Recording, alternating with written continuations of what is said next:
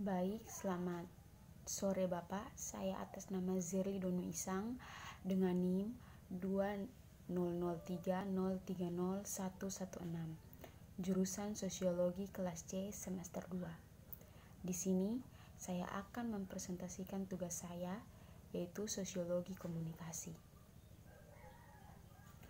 Bab yang pertama, pendahuluan. Dengan mengambil pandangan komprehensif dan menjembatani berbagai aspek media sosial. Akan menjadi seperti itu dapat dipasarkan dan relevan dengan industri tidak hanya untuk saat ini, tetapi juga untuk jangka panjang. Kasus-kasus ini mewakili area dan tujuan yang berbeda, tetapi mereka berbagi sesuatu penting. Semua kampanye ini mendekati tujuan mereka dengan cara yang strategis, dibangun dengan menggabungkan prinsip penelitian yang mendasari sains dan eks, eksekusi atau seni media sosial. Seperti yang ditunjukkan hanya dalam contoh ini, media sosial telah matang dan menjadi kebutuhan pokok dalam masyarakat global. Media sosial bukan hanya iseng-iseng yang bisa ditangani dalam sekejap. Spesialisasi yang berkembang ini entita, entitas dan fokus kontestan dalam masyarakat terus tumbuh dan berkembang melampaui apa yang bisa dibayangkan. Bab yang kedua, pembahasan media sosial bukan tentang audi audiens yang hanya melihat konten. Ini tentang berbagai audiens dan menanggapi konten. Media sosial adalah tentang menjadi sosial, jangan menjadi robot yang terprogram. Apa yang ditampilkan sebagai online? Kesan pertama adalah yang terpenting, orang-orang menginginkan keterlibatan dan konten yang sesuai dengan mereka. Bukan spam, bersikap autentik dan konsisten, bukan wiraniaga dan kontestan. Mereka media sosial lebih dari sekedar konten. Ini adalah level permukaan yang masih banyak lagi.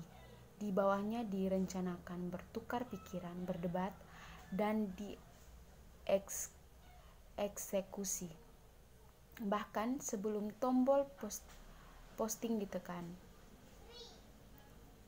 Sekarang mempunyai pekerjaan normal 95 sebagai petugas Twitter, Facebook, video, foto atau sekolah umum parot, paroko, par, paroki ST Tamani di Louisiana dan telah menjadi hal paling berharga yang telah dilakukan dalam waktu yang sangat lama. Perlu diingat, untuk semua pla platform media sosial, perjanjian TOS mungkin berkembang dan berkembang saat, saat kasus baru. Keputusan hukum dan situasi muncul secara online. Tentu saja, Istilah hukum tradisional perlu dibahas tidak hanya dalam kaitannya dengan media sosial, tetapi juga bagaimana mereka diterjemahkan untuk digunakan pada setiap platform berbeda. Ini adalah topik percakapan yang berkelanjutan terkait dengan apa yang dibagikan karyawan di media sosial, terkait dengan tempat kerja dan pekerjaan mereka. Apa yang dibagikan atlet pelajar terkait dengan tim atletik mereka, dan bahkan apa yang dibagikan selama kampanye politik? Apa yang apa apakah orang harus berbagi pendapat secara online atau tidak di forum publik adalah salah satu bagian dari persamaan. Tetapi yang lain adalah apakah konten orang harus atau tidak disensor atau hanya diperbolehkan di platform media sosial tertentu, Twitter, Facebook, dan lainnya. Berurusan dengan kasus ekstrem, orang yang menyalahgunakan platform mereka, trolling, cyberbullying, membuat ancaman online, dan lain-lain. Snapchat, misalnya, memperbaharui lama, lamanya dan memberi tahu pengguna pengguna bahwa meskipun peng, pengguna individu memiliki hak kepemilikan, Snapchat masih memiliki kekuatan untuk menggunakan milik mereka akan memberi Snapchat lisensi yang berlaku di seluruh dunia. Terus-menerus, bebas royalty dapat disublisensikan dan dapat dialihkan ke host, menyimpan, menggunakan, menampilkan, memproduksi, memodifikasi, mengadaptasi, mengedit, menerbit, menerbitkan, membuat karya tarunan dari, untuk umum melakukan penyiaran, mendistribusi, mensindikasikan, mempromosikan, memamerkan, dan menampilkan konten tersebut secara publik dalam bentuk apa pun dan di setiap dan semua media atau metode distribusi dalam kurung sekarang dikenal atau kemudian dikembangkan tutup kurung. Nada keseluruhan di media sosial bersikap, horm, bersikap hor, hormat dan profesional dan tidak terlibat dalam perang api atau menjadi nakal juga harus dinasihati.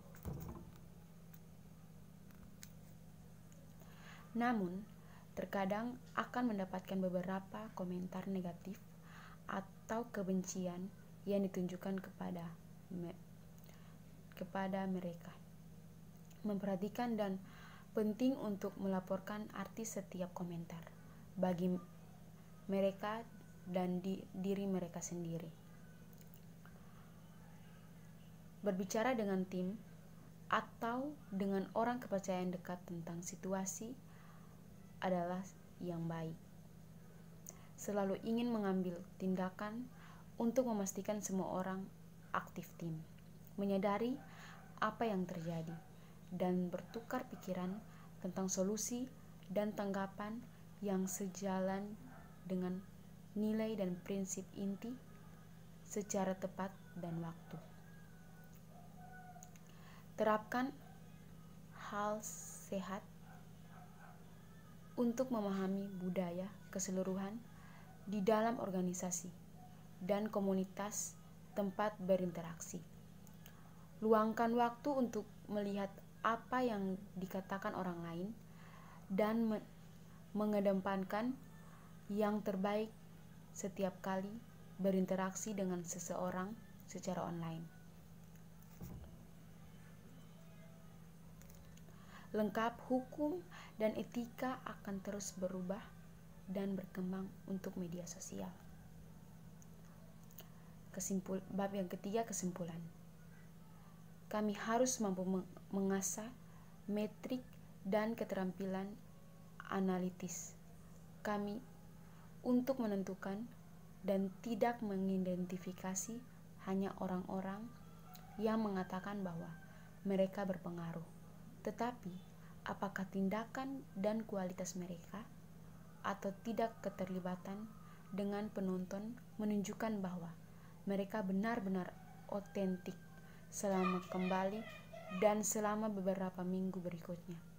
Adidas menghubungi Geoffrey dan mengirim mengirimnya paket. Sekian dari saya, terima kasih.